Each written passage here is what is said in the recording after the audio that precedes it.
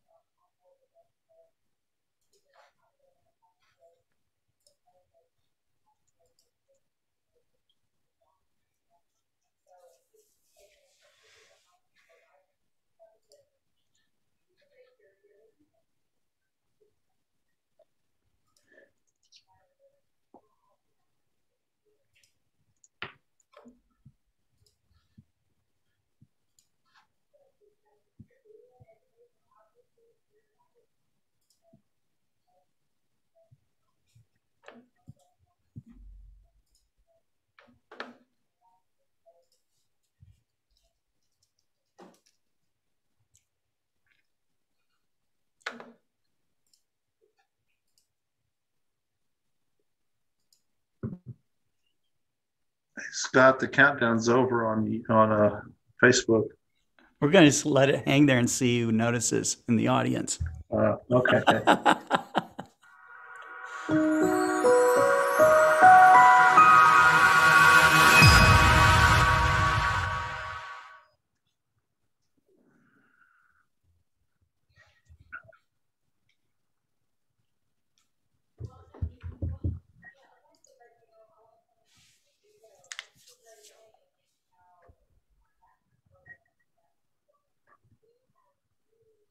These birds are so beautiful. They have a six foot wingspan. Jeez. Yeah. Incredible. Well, hello, everybody. Uh, this is uh, Scott Roberts from the Explore Alliance and Explore Scientific, and this is our episode four of On the Wing with Dan George and Kent Marts. And um, I guess our topic this uh, this week is colors. That's correct. Let me get things set up here. Dan, how you been? Fantastic. Good. We're uh, we're dodging uh, thunderstorms here in the Denver area, but it's as you know, these clouds are awesome. Oh yeah, that's true. And the birds yeah. don't really care. Birds don't care. Yeah. No, not at all. Now, I've seen like major storms and stuff where you you see. I mean, we get severe uh, weather, uh, you know, in in Colorado and Arkansas, and you know, and especially when you get like through Tornado Alley. And I was really curious how birds deal with that, you know, or massive hurricanes. How, how do how do birds deal with it? They, I mean, are they do they abandon their nest and just fly away and escape, or what what what do you think happens, Dan? Well, first of all, they're blown away. yes.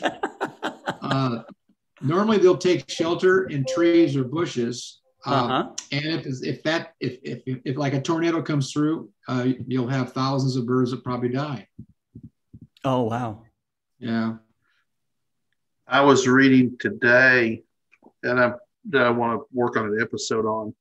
Uh, we talked about a little bit about the migration of birds and how it happens at night. And they have been working on artificial intelligence to to uh, uh, based on 20 years of radar data to predict gigantic bird migrations in the United States. and they estimate that a, a, up to a billion birds die every year because of building strikes in the United States. Building strikes. Wow. Yeah, caused by light. Huh, sir? A billion birds. A billion birds. Wow, that's sad. It's staggering. So, anyway, here we go. If I can, I'll get this all some sound on this one day. Anyway, here we go. Um, the red-breasted nuthatch. Uh, for some reason, the sound is not there.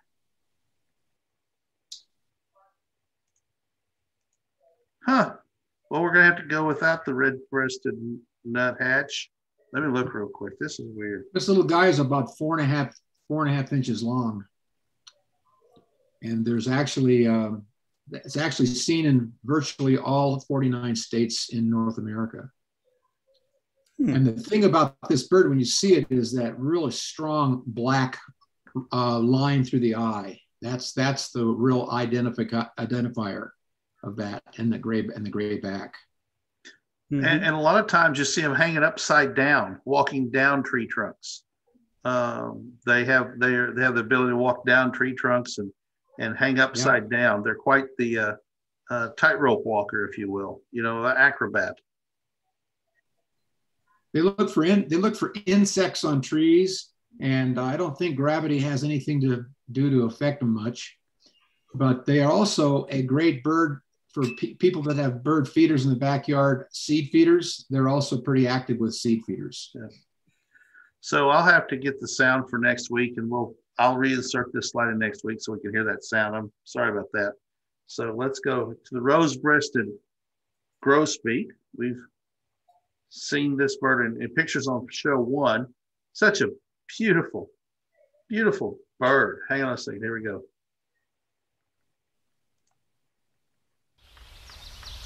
There we go.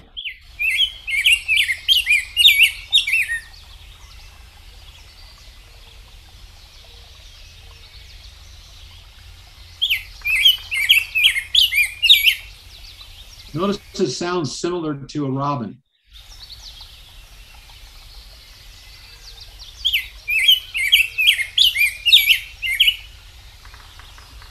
They're called um, this, the, the species is called basically a grosbeak, and there are there are um, about seven different grosbeaks in North America. The word grosbeak I think is derived from German because the word for great or large is, gro- is uh, gross. So, so that, gross beak, large beak. They just had a, gra- a sign, a graphic came up on that video that said, the grosbeak has been referred to as the robin that took singing lessons. oh, cheers to that listener. That's awesome. Yeah, that's, that's a great, that's a, it's not a listener. It was on the video that's with the sound. And as you can now, see, Go ahead. If you were to see, if you were to see his mate, the female, you would not find rose colored on any part of the body. It's only the male. Which is typical of many, many birds, but then we see eagles and you know other birds, and I know there's a term for it. I can't remember what it is. Well, we we I believe we talked about this last week. The word is monomorphic. There you go. Monomorphic is like uh, you know most of your um, like a starling, for example, they all look alike, whether they're male or female, so they're all monomorphic. So, um, and so in those cases, you, you cannot tell the sexes. But in the virtually all other birds, most most birds basically um, have that derivative. So, looking at the the the migration map and the breeding map, um, you know, uh, here in Northwest Arkansas, uh, we're in the migration, so they fly through and they disappear. Although I suspect because we're so close to the range in Missouri where they're breeding, there probably are some some some uh, breeding pairs here. What I find interesting is you look over here in the Appalachians, going down into Georgia and the Carolinas and Virginia. Uh, there's a this weird finger that sticks down. I suspect is probably temperature related potentially. Why do you think would cause that, Dan? it's usually well, it could be temperature, it could be food, it could be shelter. Um, and, and, and also the unanswered question is what else would cause the grosbeak to actually um, mate when in that pink or whatever color that is that means they're they're um, they're having their babes there. Right. And the yellow is they're basically migrating through until they get to their mating area. Just a weird shape. That just strikes me as odd. And and again for, go ahead. Well, I'm just going to say for anybody to see a rose-breasted grosbeak, consider yourself really lucky. It's one of the most spectacular birds in North America. And they're big birds too. They are not small by any means. They're eight inches. They're eight inches from uh, bill to tail. So just a little bit smaller than a red-headed woodpecker, then. Yeah, I, yeah, a little bit, right? Yeah. Okay. I wouldn't want to choose between the two. They're both marvelous, though. You know. So here we go. Uh, the great blue heron. Now, these are big birds, as you said. They got a six foot wingspan. Um, they stand about 46 inches tall, an, an adult. And uh, when it comes to identifying birds, you, you really just look at how big it is and what color it is, and you'll know that it's a it's a great blue heron because of its size. You know, and, and I, for and people I, for people that are maybe beginning birders or maybe uh, mid mid range birders, the difference between a heron and an egret, when you say if you take a look at a, a, a great egret or a white egret to a, to a heron, you say, well, why is I mean they have the same characteristics, they look the same. Typically, um, egrets are going to be white. So there you go. You know, black crowned night heron, great blue heron, little blue heron. They're colorful. Egrets pretty much are all white. Isn't that interesting? You know, mm-hmm. I, I, look at this and, and the colors when you see one in when in the in good light is just spectacular. I like that black shoulder patch and uh, the colors in the bill and uh, behind the eye. And when I see a, a, great blue heron, I think of a grumpy old man. Just the, just yeah. because of the look at it, it just looks like a grumpy old man. They don't look. They never I, look happy. I love seeing them standing in water. You know, yeah. they're so still. You know, as they're fishing or whatever they're doing, and um, uh, just uh, I think it's an elegant bird for how big it is. You know. And, and when and when it takes flight, it's magnificent. It takes a few flaps to get up, and when they fly, it's like a B-52, real yeah. slow, slow moving wing. Drag their two and a half foot long feet behind their tail. There's the sound of the hill. Listen to that. Rawr.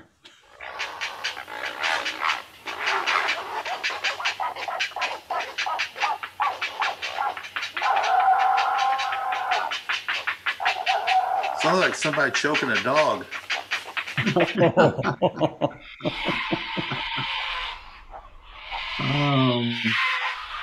and they're pretty much everywhere in North America.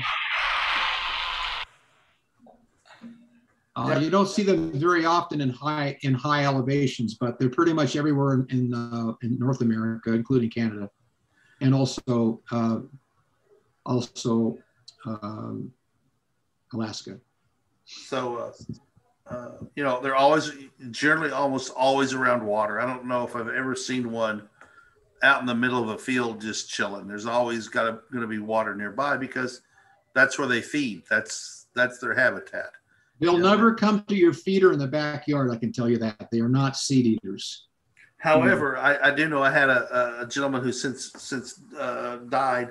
Um, he had uh, some uh, uh koi ponds in his backyard.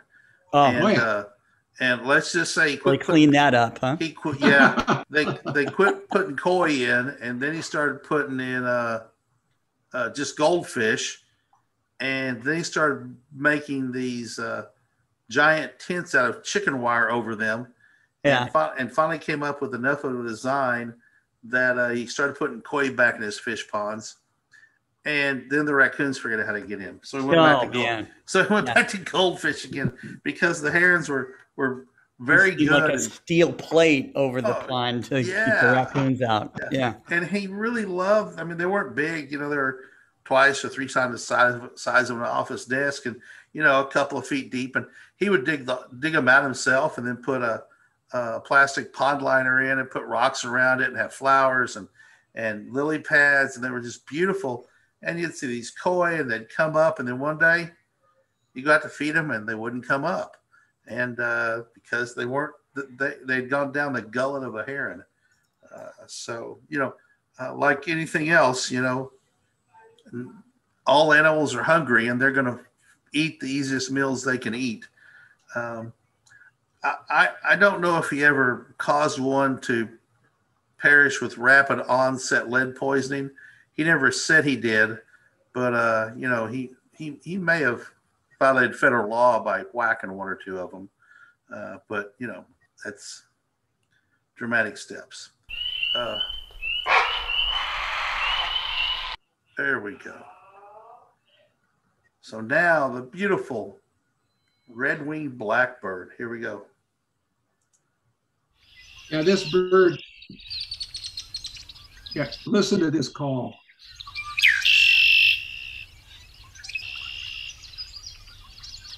I've heard that before.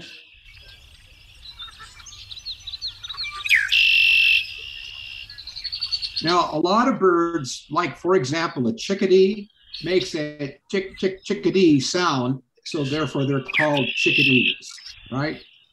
A lot of birds can be identified by the sounds that they make, and a red-winged blackbird makes a conqueree, conqueree when they air. And when you hear that sound, it's only the it's only the red-winged blackbird, and it's only the male. You can hear more in the background if you listen carefully. There's some, I hear some ducks and some probably uh, Canada geese back there too. Yep. Warblers back there too. But you'll never, you rarely will see red-winged blackbirds anywhere where there isn't any water. They're found in ponds and marshes and lakes and trees by the water and so forth. So almost always.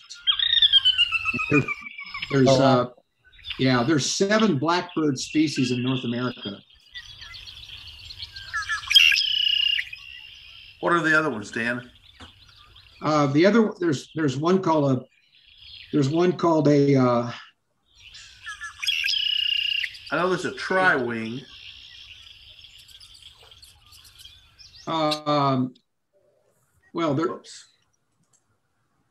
Not sure. Off the top of my head, I can't think of the other. This is the obviously the most. This is the most um, most popular one because it's seen everywhere. The other ones you'd have to go to places where they have their habitat specific to their uh, to their right. location. I know there's a tri-wing blackbird that I've seen before. Um, I can't think of any other. Well, there, in fact, there's one called a yellow-headed blackbird that's found in the mountains, mountain states, basically, and parts of the um, west central uh, states. And they literally are, are a blackbird with a yellow head. Spectacular. So, like two birds, a head stuck from a different bird stuck on a blackbird, just like a bald eagle. Dramatic change, like a bald eagle has. Yeah, Okay. It's a spectacular bird, and they're they're ubiquitous. They're plus they're everywhere in the United States. How does that sound? There we go. But just a beautiful bird, and the sound is obvious as can be when you hear it. Um, there, there is nothing like it. All right, so moving on. Now here's one that I don't think I've ever seen before. Uh, although well, they're here all the time, it's a common yellow throat. Hmm. Do you have the sound of that? I do. Here we go.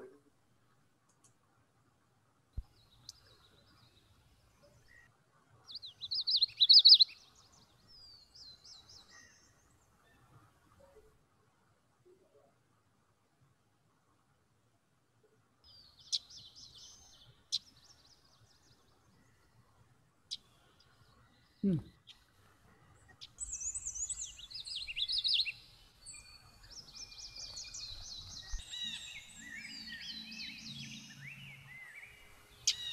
Imagine when they're video making videos of these birds, they must have some sort of like dish with a, a microphone that can pick up sound from far away.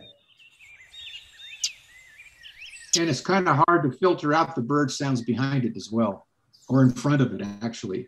Hmm. This bird now makes a, you know, I'm talking about a chickadee that will do a chickadee sound, or the red-winged blackbird will do concaree. Uh, this particular bird is really easy to find if you're listening for it because it goes witchetty, witchetty, witchetty. It, and Kent, if you could play that again, it was there. He did it like two and a half times. Witchetty, witchetty, witchetty. That like there that. Comes. In every case, it's going to be a common yellow throat.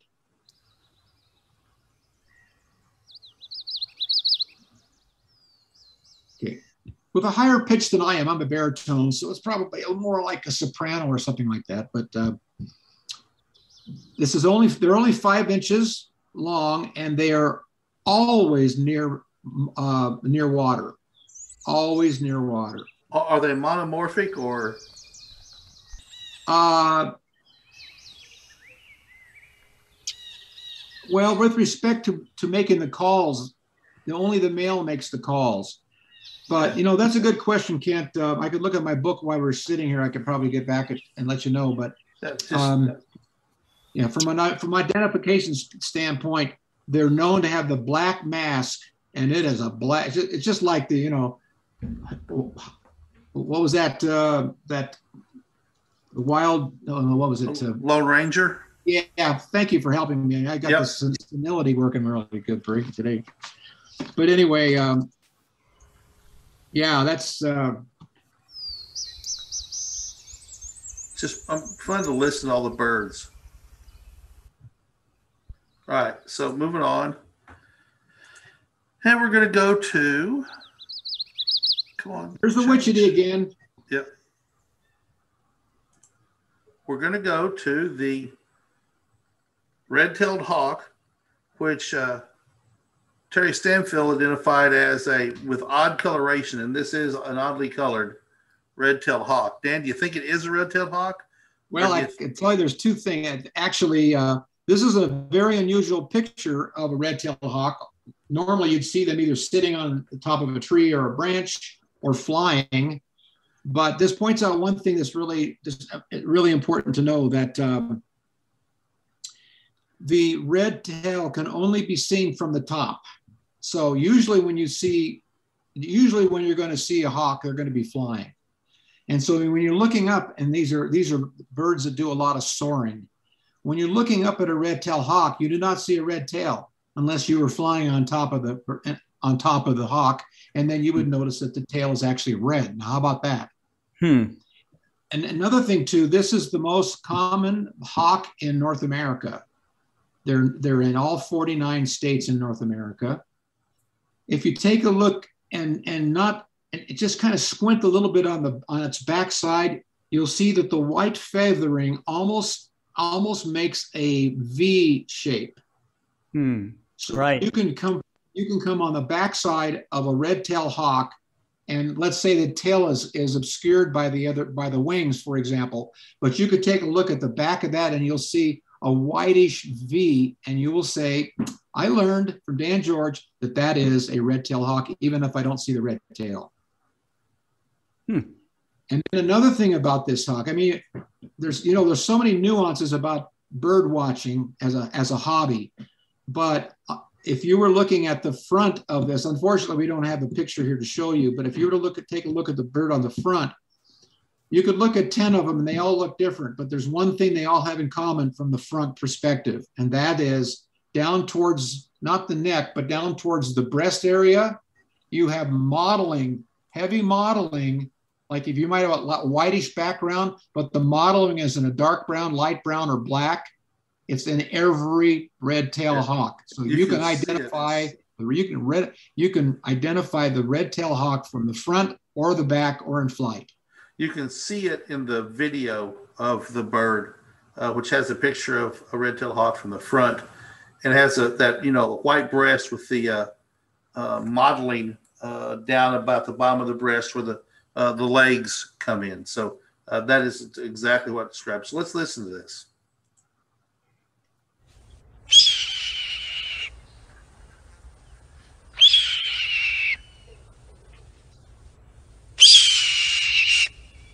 It's like a descending keel, And it's the only that makes that noise.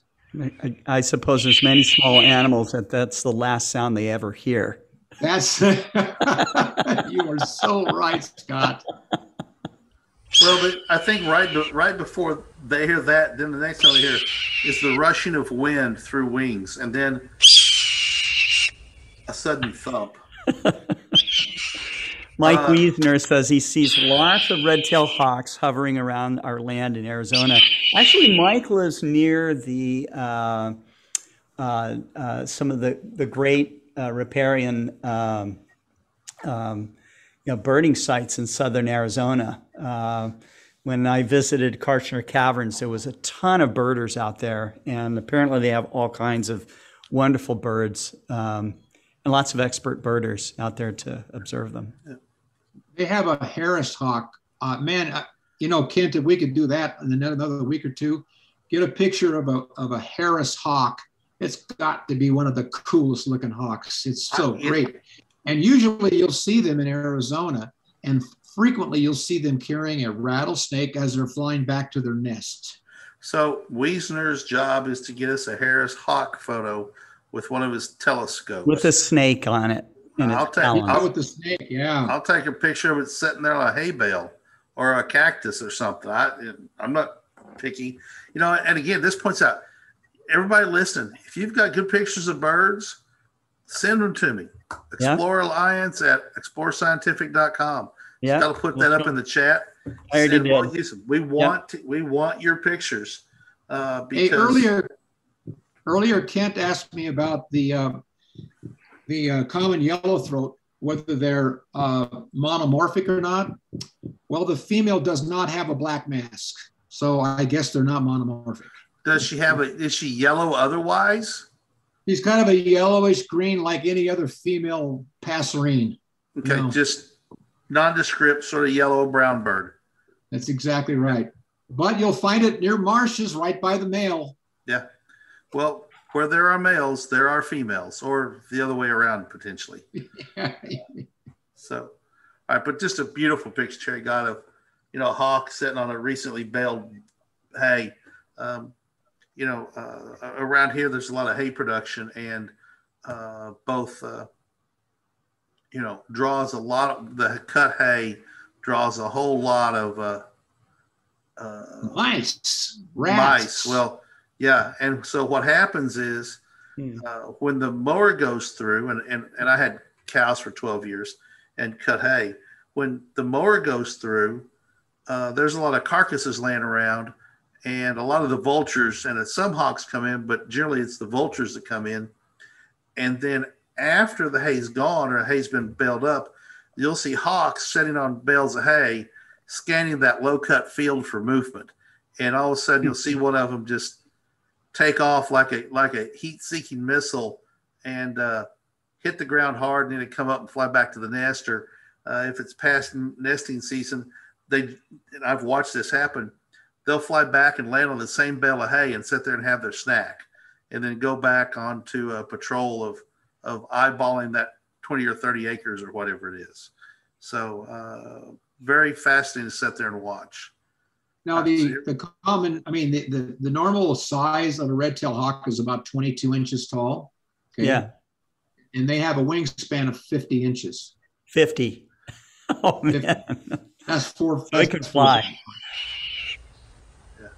all right, so going on. So here's here's the bird nest watch. Okay, so this is this picture is June. This is an American robin nest uh, out by the, in front of the office in a in a in a maple tree that's probably six inches, inches in diameter. In front of this uh, office? Yeah, it's right next to my pickup truck, Scott. Oh, I thought yeah. this was near your home. So. No, this is out in the parking lot, right by oh, where wow. I park every day. I have to check it out. That's yeah. cool so you can't really it's it's above my head i can reach up and hold the camera above it yeah uh, so so this is june 24th uh, the day that all three eggs had hatched and so as you can see there's just they're covered in little downy feathers and their eyes are these Aww.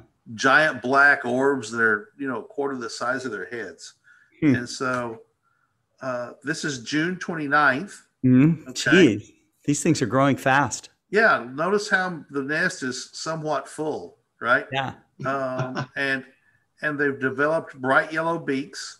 Uh-huh. Uh, their down has turned into pin feathers, um, and uh, when mom was up there when I pulled in, and um, she uh, flew off that she had been feeding them. And when I stuck the camera up there, they, they didn't make any peeping sounds, but they opened their beaks a couple of times and then yeah. went, No, that's not mom. And just sort of sucked back into the nest. And so, um, and right. so here is. And that's mom, huh? And this is mom. And this is a, a, a mom who is, uh, how shall we say, displeased with me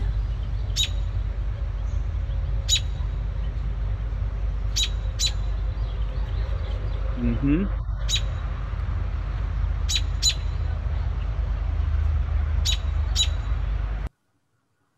So that's her. It it's didn't try to dive bomb you or anything. No, she has not done that. If it was a mockingbird nest, I would have had hairs pulled out of my head.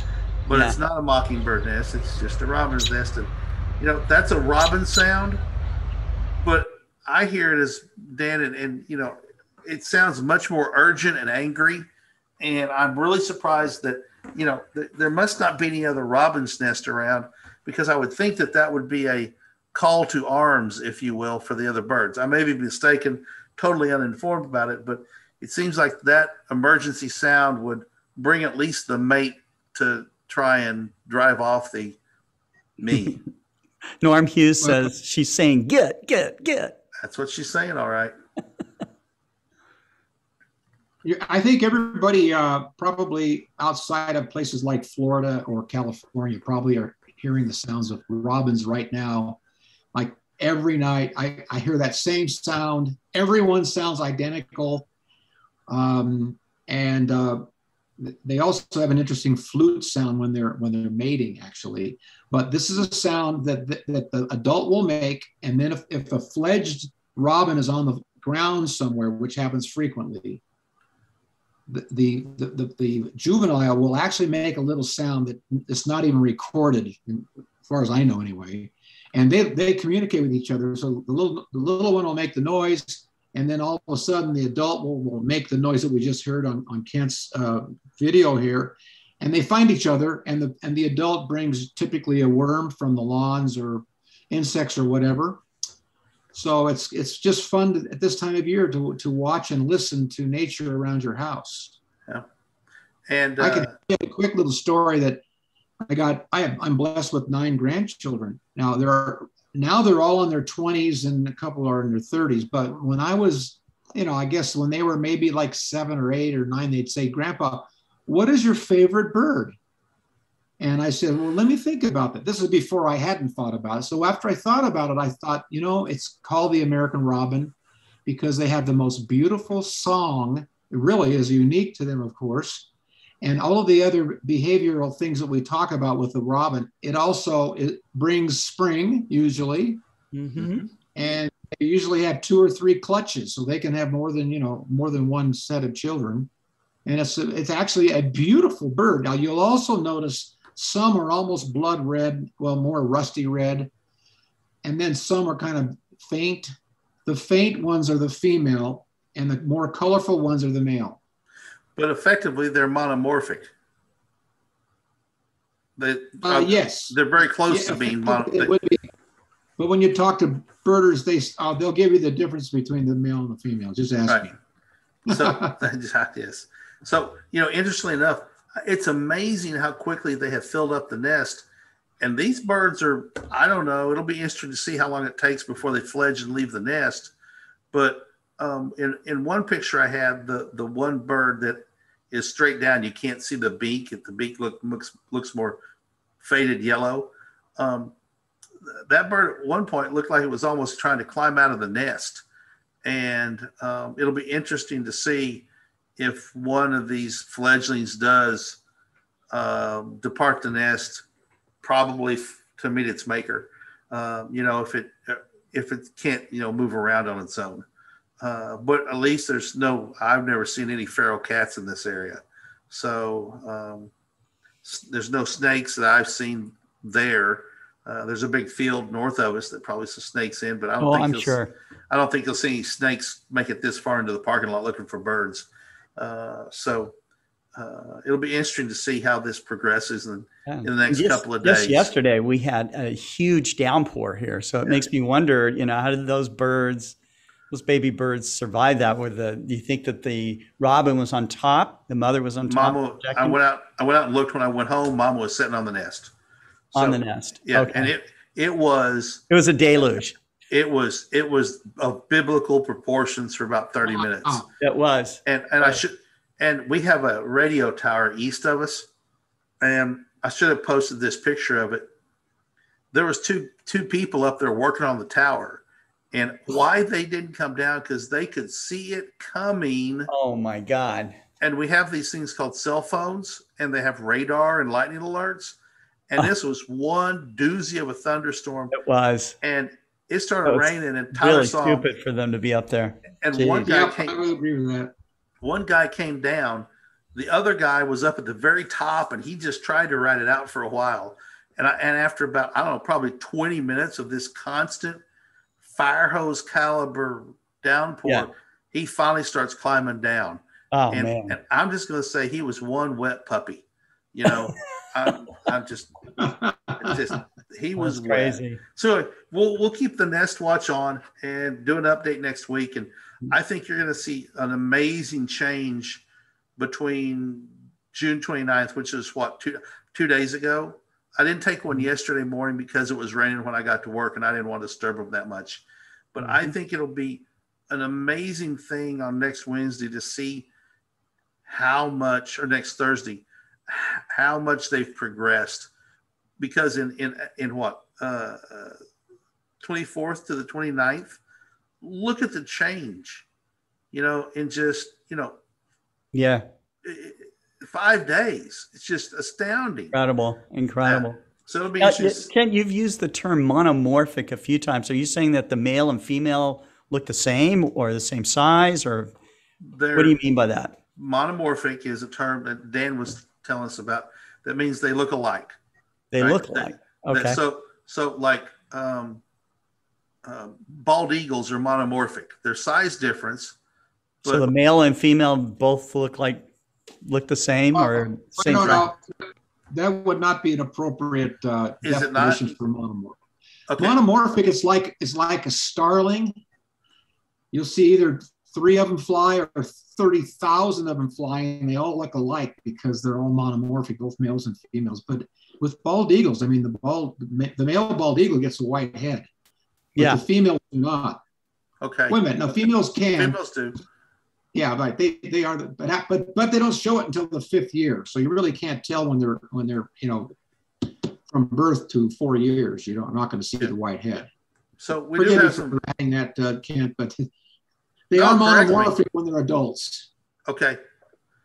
But but again, as Dan pointed out, there are differences in the coloration of the breast. So uh, there are ways to potentially tell the males and the females apart. So I, I'm assuming this is a female uh, because she's sitting on the nest. Um, I have not. I should have done research. I'll do research for next week and find out if, in fact, um, male robins are also nest sitters or not. Um, you know, and, and that's that's what's cool about this journey. It, be curious, look it up. We have never had more information available at our fingertips.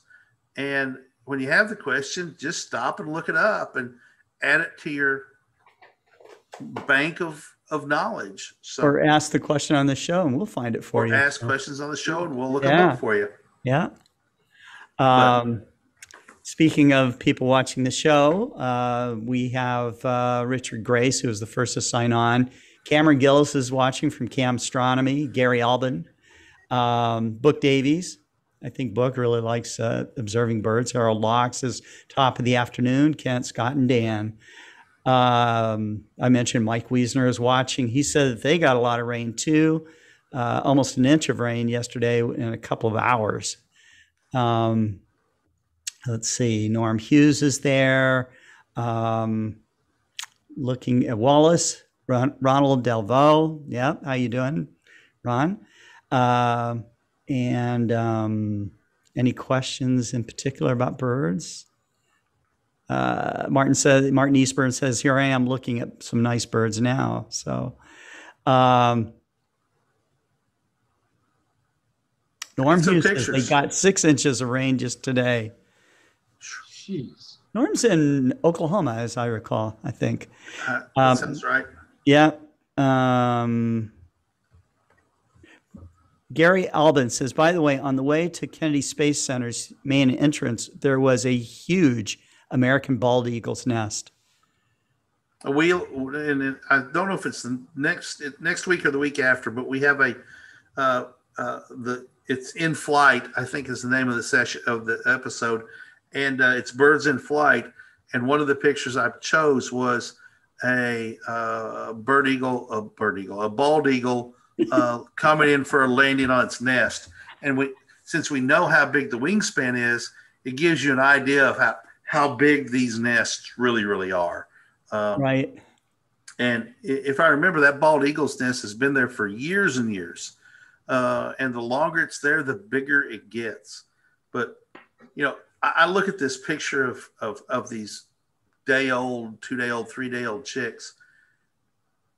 And, and, and it's just absolutely fascinating how that robin has woven that little cup shape innately. I mean, her yeah, we should did, do a show just about nests alone. You her, know, her I think mama would be very cool. Her mama didn't teach her how to do it. She just innately knew how she he know how to do that. No one taught them. No parent taught them how to do that. It's just an innate skill, and it just is fascinating. And you know, Scott, uh, before next year, I want to figure out a way to put a camera up in in this tree and do a yeah. We happen to have things called action cams. You know that yeah, I know, but figure out a way to go into time lapse. Figure out a way to stream it live to the internet with a power supply we can change without disturbing the nest.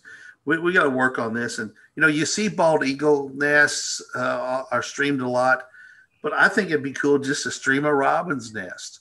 You know, just to do something that's a ubiquitous bird, not a not a not a benchmark glory bird like a bald eagle mm-hmm. or, or a falcon nest. I have a Sorry. contrast for you. Find a find a hummingbird nest, and the, the size of the nest is about a, a fifty cent piece. That's aren't, it. Aren't they yeah. like or aren't are, are they woven or are they like an oriole nest? I can't no, remember. They're, no, no, they are woven. Um, and as the adult sits on the nest, the tail hangs out the back, mm-hmm. and the, the long bill hangs out the front and the the, the, the, the nucleus of the body keeps the, the, the, the eggs warm. It's, just, fascinating. Yeah, and it's just uh, just watching these babies grow and document it.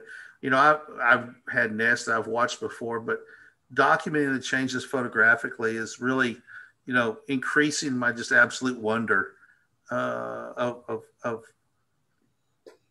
how nature. much of nature, of just how life wants to exist, you know, just innately, innate knowledge that just happens, you know, it's just uh, fascinating to me. So uh, it's 441, moving on to our last pretty picture. This is a monarch on a coneflower that Terry Stanfield got. Um, you know, Terry likes a lot of pretty stuff, and I just you know this is this is something on the you know it's it's on it's flying it's not a bird but still pretty and uh, i got a picture coming up at some point with some almost microscopic little flying things on a flower and just spectacularly beautiful so that's the end of my show i'll stop sharing into your show well i uh, didn't we didn't see it you weren't sharing your screen the screen share didn't happen no no you want to share it wonder, hang on a second. PowerPoint shut down. Oh, well, that'll do it.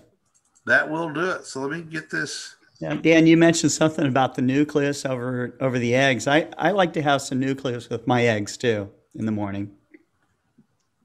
Well, Scott, we all have our excitement. Or is that Nutella? I don't know what it is. Nutella.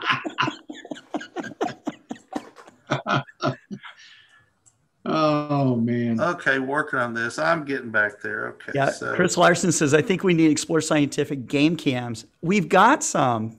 we do. we The- should the- show some of the stuff that we have. It's pretty cool. The- the- I will pull that up. I, it's mostly animals, but okay, are you seeing it now? Yes. Okay, Yeah. there you go. Monarch butterfly on coneflower. Nice. So beautiful. Just you know, monarchs are ubiquitous. Everybody recognizes the monarch.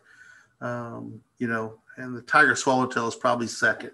So anyway, there's Terry's closing picture for the show. You know, the game cameras we have are still pictures. They're not video cameras, and so that presents some problem. You know, getting you know ongoing pictures of birds.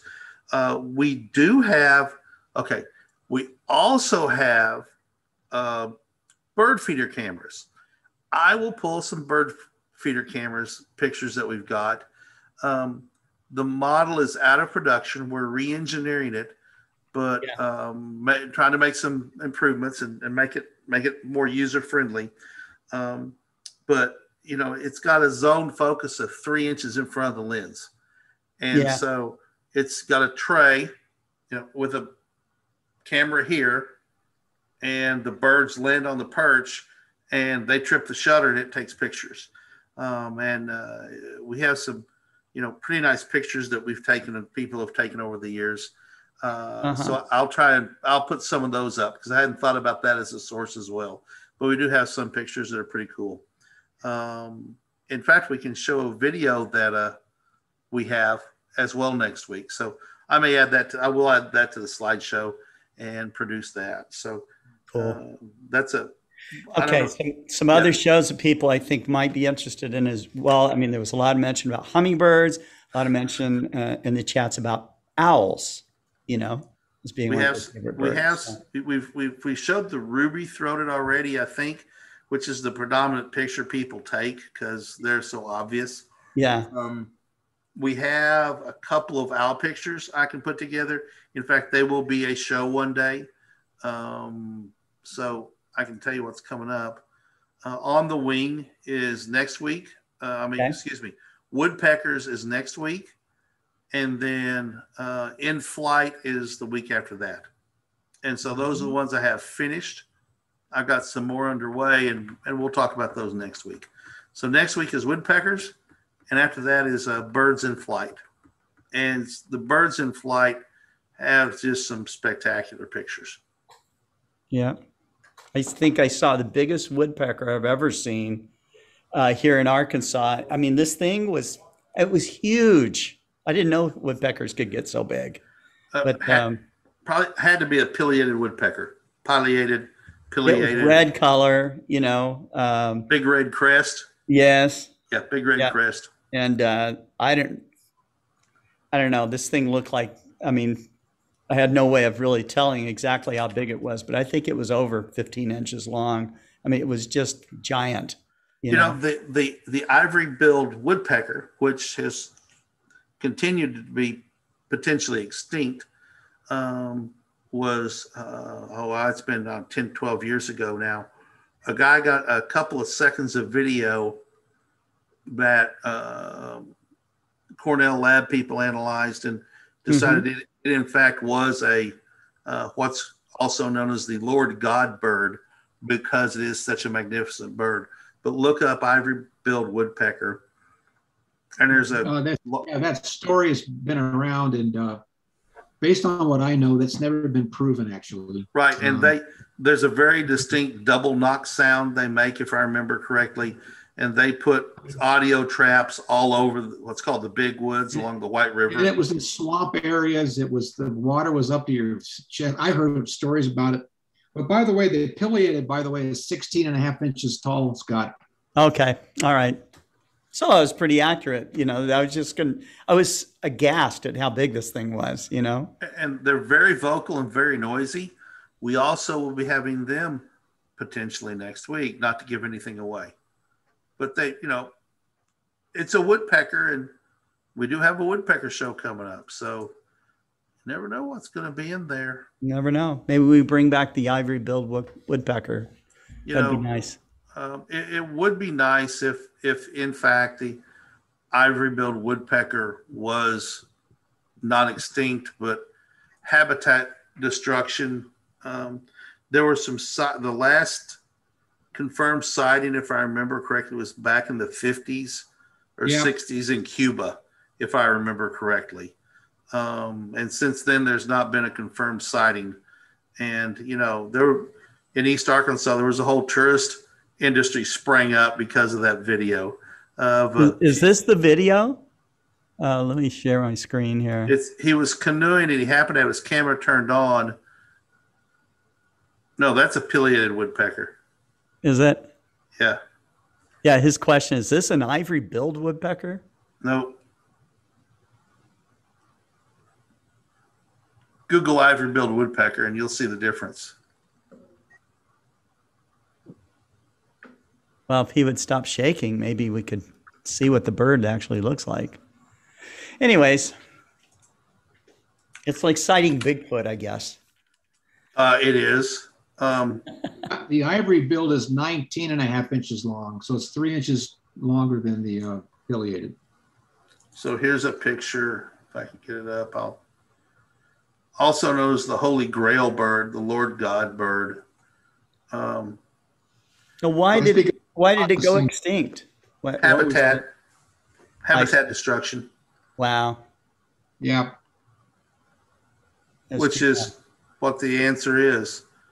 Um, There, there is a new feature to Google Earth where they show the. Um, uh, I think it, it's um, if you um, search for Google Earth time lapse, and you're able to go into any part of the world and see a time lapse of how that region has changed over the years, and uh, uh, it's it's pretty amazing. You know, so you see cities expanding. Um, uh, you know, I'm, I'm sure if we went into the rainforest, we'd see it being destroyed, uh, those kinds of things. But uh, it puts things in perspective, you know. And if you're, you know, if you're a wild animal, uh, you know, certainly um, seeing your habitat um, diminish like that is um, is very tough. And and so, you know, uh, it makes me wonder how how humans will um, work, you know, towards the future of sustaining wildlife and um, and bringing them back from the brink. So So here's a here's a picture from two stuffed taxidermy, I guess technically, two taxidermy specimens in the Florida Museum. Um, I Yeah. see. but there are distinct differences between it and the pileated. Um, but you know, I was re- like I said, was reading about um, the uh, the migration of birds, and previously they they tried to do counts listening to the the sounds of the birds, uh, you know, that were flying at night, and and people who could identify all the birds would estimate bird estimates, but because of the radar, they can literally count the birds per cubic kilometer. And they also have discovered that uh, birds fly as much as 10,000 feet, feet above ground level in the central United States on migrations. And they take off anywhere from 30 minutes to three hours after dusk and land uh, as uh, come down and land as uh, uh, the sun begins to rise and by sunrise most of the birds have quit flying. And there's some really cool grass and stuff. And frankly i think i'm going to do a whole episode on it because i find it so fascinating looking at the pictures and the maps and what they've done. It's a field that's now called aeroecology as in the ecology of air. And Hmm. you, you, we don't you know i never thought about the air as being its own habitat but if you're a bird air is you know the, the air is habitat. And i previous to this always thought about habitat as the ground and the trees and you know the water. But you know look at albatrosses. They fly for three four years before they return to to land to mate. You know their their habitat in in for years is nothing but air. And there's a whole new field of study developing i just am fascinated by that uh, and how we're using modern technology to try and tell cities and you know highly lit up places um, about light pollution. And this is just another way that light we're finding out light pollution is affecting all sorts of things in ways we never thought of. And light pollution is just in many instances is so simple as mm-hmm. don't shine light up in the sky. You know, don't leave buildings lit up all night long for no reason. Right. Um, you know, there's many buildings in cities. Yeah. Plus, it raises your electric bill, right? I mean, it, the, the single biggest recurring expense in, in an office building is the lighting and air and climate control. You know, basically electric consumption. Hmm. And you know, uh, there is a large trucking company that I won't name that's located in Northwest Arkansas that leaves the lights in their entire building on all night long. And there's nobody on those floors, but yet they leave it lit up. And I think that's a function of LEDs that maybe are so inexpensive to operate that they go, ah, who cares? You know, leave it on all night long. And I don't know, it just strikes me as, you know, interesting. And, and, and I had a conversation over the weekend with uh, some kids that, you know, we've all said it as parents and they've all heard it turn the light off, you're wasting electricity. Sure. Well, that, that doesn't carry much weight. I mean, that big deal. We're wasting electricity. But that 100 light light bulb over the course of a day uses a pound of energy produced by burning a pound of coal, according to AEP. So in a year, that's 365 pounds of coal. So getting the calculator out, 365 times five in five years, that's 1,825 pounds in five years of coal. So, so literally in six years, that light bulb burned one ton of coal if you leave it on all the time eh, that has a, I mean, that gives people a concrete way to, to fathom it. And I've always wanted to get a pound of coal. Just one light bulb, right? Yeah.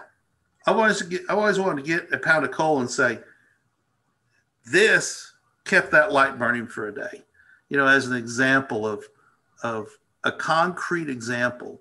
But if that light fixture is, is, is using X amount of electricity and half of it is going up in the sky, then it's using twice the electricity it needs to get this. If you're happy with the light on the ground, so you know this is for me personally. I got involved in light pollution because of astronomy, but I'm now becoming much better adept at talking, and, and I'm going to integrate this in the speeches I give about migrating birds and how it disrupts them. We've all heard about the turtles crawling towards the bar, bars along the coast versus crawling towards the the the full moon rising over the ocean. Uh, but this is you just like bar, like to go get a, a, cocktail bar. Yeah, it's like the yeah, you know, the beaches along Florida now turn out all their lights during the hatching season and uh, work hard to keep the the hatchlings going into the ocean versus crawling up the beach trying to get to the bright light, which in this case is. Oh, okay. It's not to get a stiff drink, right? No, it's not. No, Turtle, they're too young to drink. They're too young. That's correct. So. Oh man. yeah, well, it's a big problem. It's a big problem. It's an easily solved problem, and uh, you know, but we got to get everyone behind it. So. Yeah, you know, because each of us have our own reason to not to fight against light pollution. For astronomers, it's the ability to see the stars at night for bird watchers it's the ability to keep birds from from becoming disoriented yep. and destroy their migration routes. And um, for just human beings in general it's just so the, the survival of our own species. Yeah. So. Yeah. So anyway. All right. Enough preaching about light pollution for yes, the moment anyway. Right. So. All right. Well i do appreciate everybody watching today. Um, uh, Pekka wanted to know why all of the large birds are in uh, in the Americas. So I don't know there's, if we can answer for that. There's plenty of large birds in Africa. Uh, I know there's storks in Germany. I would think there would be storks in Scandinavia as well that are very, in fact, you know, the storks, you know, delivering babies came out of Germany. So Right. Uh, there are Well, some someone large did mention deforestation from World War II and World War One, so Yeah. that could have. that could have affected Europe dramatically. Yep. Yeah. You know, but there's there's large patches in France and Belgium, if I remember, that are so heavily mined that there it's a it's a forbidden zone. You know, because you know you go in there and you you you get blown up. You come back missing a limb or whatever. Um, so you know, mines and unexploded ordnance are a problem around the globe, but to see the deforestation that's going on in in in, in the heart of Brazil is astounding. Uh, what's going on, and you know we we can't talk. We've we've caused plenty of deforestation here in the United States. Uh, Well, just here's here's that time lapse uh, of uh, the Google time lapse just of Springdale, Arkansas, and you can see just over a few years the growth of this little city.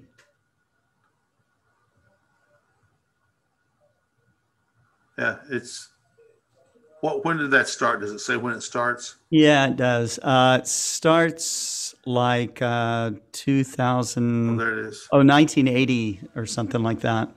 It's saying down there at the bottom. It's got a countdown. Let's watch it. Yeah. 1984. 1985, is that right? 84 is what it said. Yeah. 84.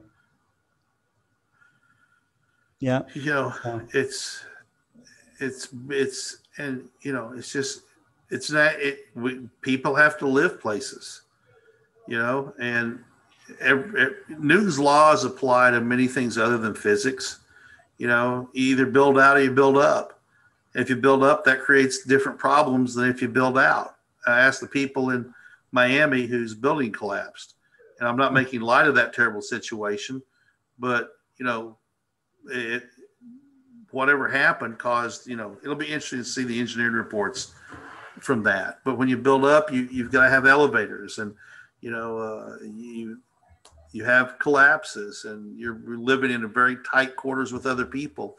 I had a customer that i talked to in may was it may or june um, had not been out of his apartment in new york city since like march the 14th literally had not been in the hallway and everything they needed they had delivered and he waited um, like 30 minutes after it was dropped off outside his door and then went out with a mask on and disinfected everything. And he had two little kids under like like three and two or something like that.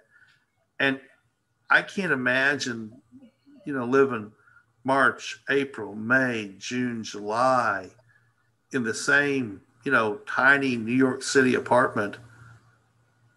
That just that's just astounding what everybody There's went through in those undoubtedly going to be a lot of stories that are going to come out um, as we emerge more out of this pandemic. But um, Yeah. well, that's that concludes, I think, our our show. We're kind of digressing here a little bit. Um, uh, but I think the focus on uh, birding is a good one, and uh, you know, uh, support support your local uh, birding chapters. You know, join the Audubon Society. Um, look into the Cornell Ornithology. Um, you know. Organization. There's also the American Birding or, Association that Dan George loves so much. So, um, and there's there's organizations around the world, and they are doing things to help uh, support uh, uh, birds and birds mi- bird migrations and bird habitats. And uh, just by joining, you're helping. So And share, like and share these videos. Go onto Yep. YouTube and Yeah, share them, like them. thing. You know, That's spread spread the word about what we're doing for Yep. sure. All right. Okay, so uh, we will see you tomorrow. We've got our uh, Focus on Astrophotography program. I'm going to postpone the um, uh, the microscopy program as I, you know, I'm on the search for a, uh, a biologist um, that we can interview. Uh, so if anyone has any, uh, uh, you know, connections in that way, please let me know. Um, but uh, until that time, you guys uh, uh, keep looking up at the birds. so, Dan, thank you so much, and uh, Kent, thanks for putting together that uh, those programs. Yep. And See send a thanks week. to that guy in, in Arkansas who's making all those great uh, birding photos. And, um, you know, I've Yeah. got I've got Sheldon's phone number, so I'll give him a buzz and let him know how it's going. Yeah. Take care. Thanks, everyone. Bye, everybody. Bye bye.